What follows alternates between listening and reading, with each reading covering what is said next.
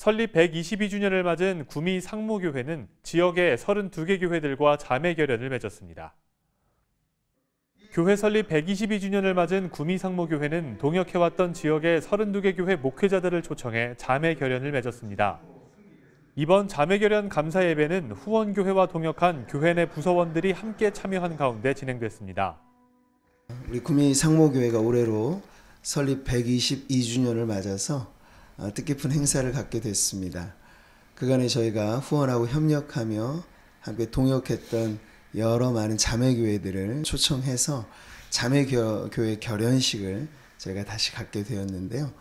아, 이것을 통해서 우리 한국교회 전체 안에도 어, 교회가 서로 간의 복음적인 정신과 그리스도의 사랑으로 연합되어지는 그런 좋은 운동들이 퍼져가기를 소망합니다.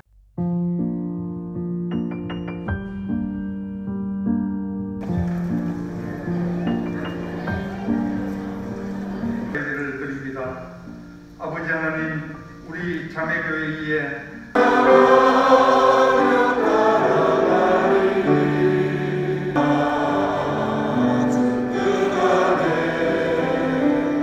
여자 다섯 명, 여성이 김현래, 한신석, 성령님 함께하여 주시고 선포되는 귀한 말씀을 통하여 하는 것 같이 그들도 하나가 되게 하려 합니다. 아멘.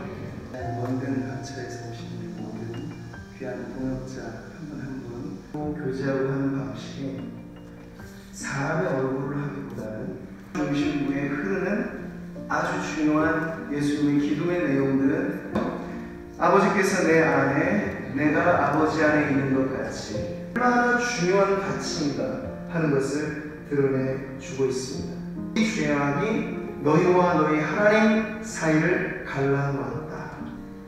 예수 그리스도의 피로 하나 되기를 원하며 또 우리 여 밖에 그 영상에 보였지만은 저에게 작은 선물을 주었습니다. 밝은 이 자리에 떨리는 두 가슴 감사합니다. 어, 지금은 비록 미래 자립이지만은 그리고 또 총회 정책 변화 때문에 30교회는 사례비가 제로입니다. 사진 찍도록 하겠습니다.